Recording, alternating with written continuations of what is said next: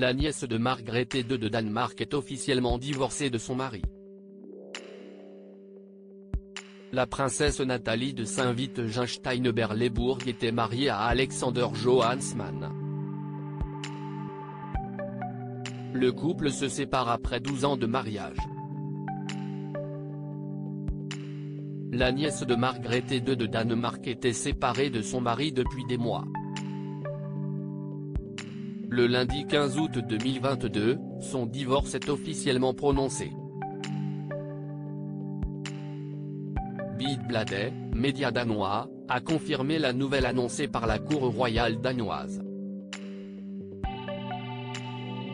La princesse Nathalie est la plus jeune des trois enfants de la princesse Bénédicte de Danemark et du prince allemand Richard de Saint-Wittgenstein-Berleburg.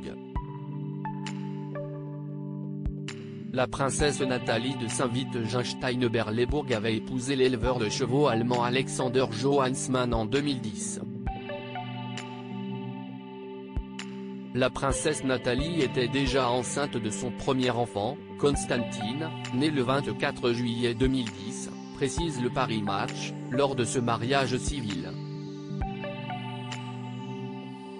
Le couple s'est marié religieusement un an après, en 2011. D'après Histoire royale, la nièce de Margrethe II de Danemark a eu droit à un mariage de conte de fées.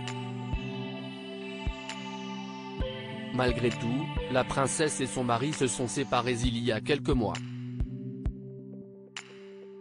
Leur divorce a été confirmé par la cour royale danoise le 15 août dernier.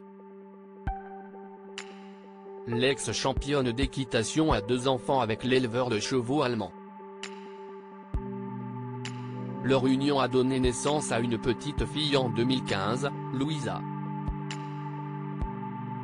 Une garde partagée pour les deux enfants de la nièce de Margrethe II de Danemark Aucune information n'est accessible au sujet des raisons de la séparation. Si est-il la cour royale danoise qui communique les informations officielles relayées par le Bid. Ce dernier confirme que les deux ex sont convenus sur une garde partagée de leurs deux enfants une façon pour le couple de collaborer étroitement pour l'éducation de leurs enfants.